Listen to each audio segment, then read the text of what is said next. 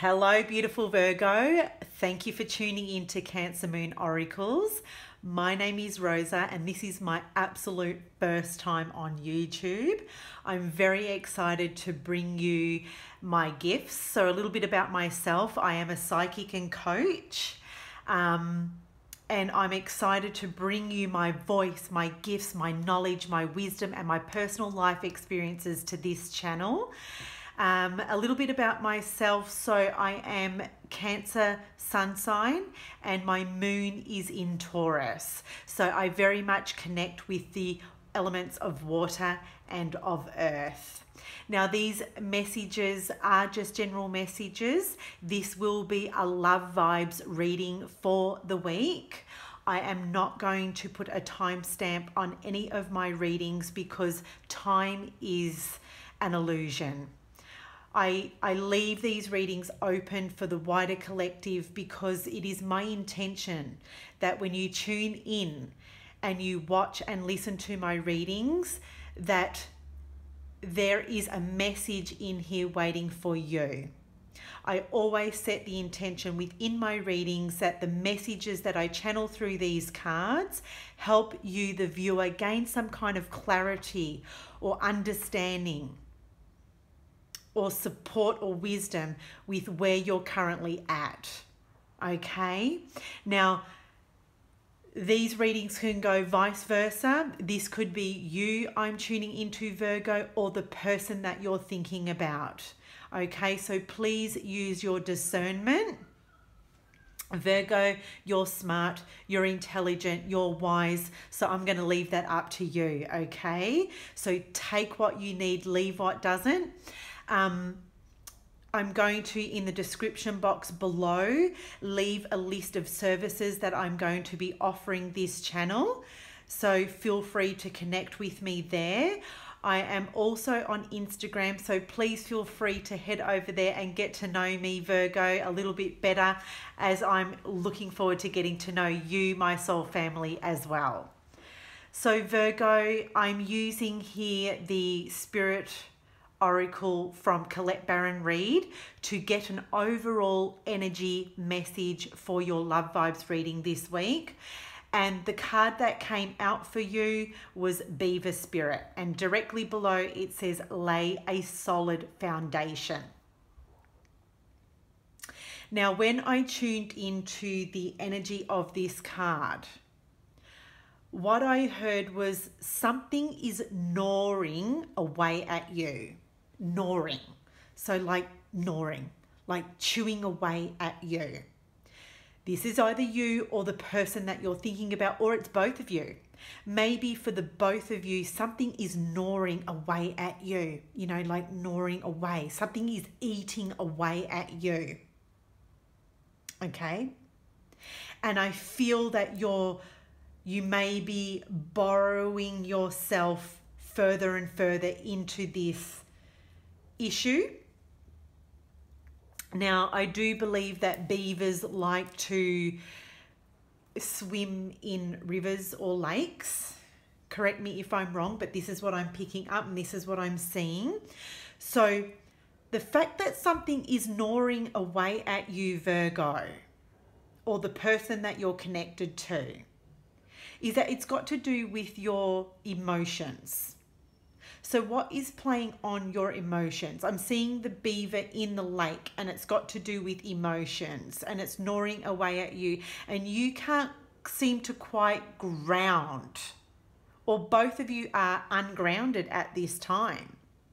So, it's really um, what I'm getting here is that you're needing to anchor in to your root chakra or your foundation. Now, what is your foundation?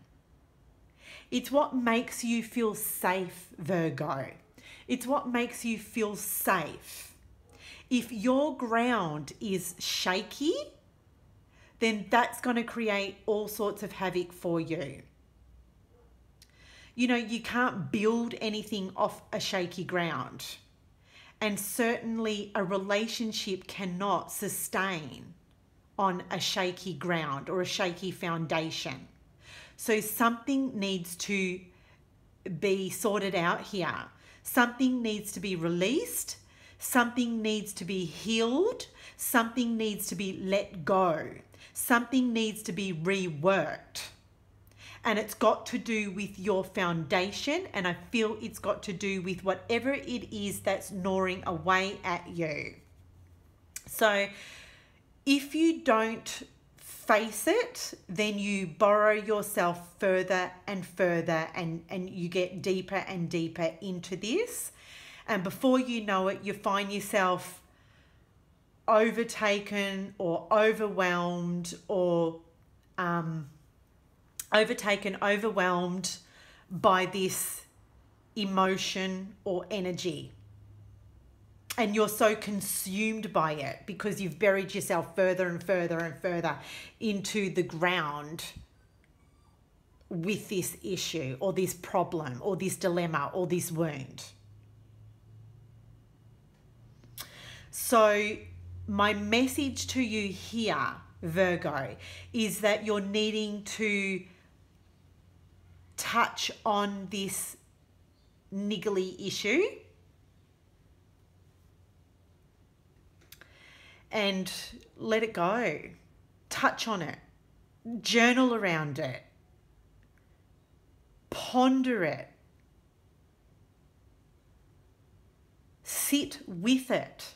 Don't do anything with it. Be the observer of how this is affecting you. Why is it affecting you? Can you let this go? What do you need to do to be able to heal this emotion or this issue now. And you know, vice versa. Now, this could be you, Virgo, this could be your partner or the person that you're connected to. But this is what I'm currently feeling is the overall energy of your love vibes reading. So I'm just going to set that over there because that is the overall energy for the reading this week, Virgo. And now I'm going to tune into the Everyday Tarot cards and select three cards for your Love Vibes reading and messages this week. So I'm just going to wait for the cards to pop out. So Spirit, Angels, Guides, what are the main messages Virgo is needing to hear regarding their Love Vibes messages this week, please? Spirit, Angels and Guides. Now I don't take every single card that pops out. If the energy doesn't feel right, then I don't take it, Virgo. Okay, I don't take it. I'm very much tuned in to my intuition and my spirit guides. So the first card to pop out is the Six of Wands in reverse we have the Queen of Pentacles, which I'm seeing straight off the bat that this is you, Virgo. And we have, I'm going to take that one, the Eight of Cups. Okay, now I read tarot intuitively. I do not always read it um, in regards to the meaning of the card. I channel messages through these cards. I use tarot to, or oracle, to channel my own messages from spirit, okay? So they're just the trigger that help me gain these messages. So, Virgo, what I have here for you is that someone is very much focused on you, someone is watching you. I feel that they I feel that they there's some kind of a a regretful energy here with the six of wands in reverse. I feel that they know someone or, or you, vice versa, someone didn't gain what they needed to gain from this relationship or connection. I feel there was a loss here. I feel there was a loss. They didn't really win some kind of victory with you. Or this could be you seeing the situation or this person as it was a it was a unsuccessful journey or outcome or connection. Now, I, I'm reading this energy as it's still alive. Like this energy is still very much alive because this person is focused still on you. They may even come back around to you, Virgo. Okay, they may even come back around to you. They are seeing you as the Queen of Pentacles. Now, the Queen of Pentacles is very grounded. Now, it's very contradictory to what I said about the foundation right now of you, Virgo.